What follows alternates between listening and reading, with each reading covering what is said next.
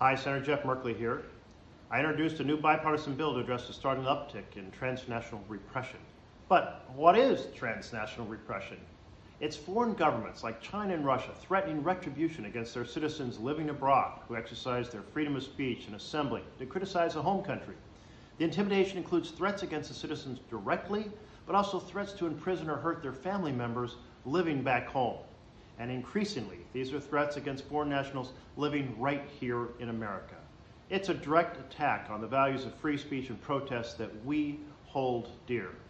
It's a frightening trend of authoritarian regimes expanding their oppression beyond their own borders, and we need to end that here in America. It's a violation of human rights.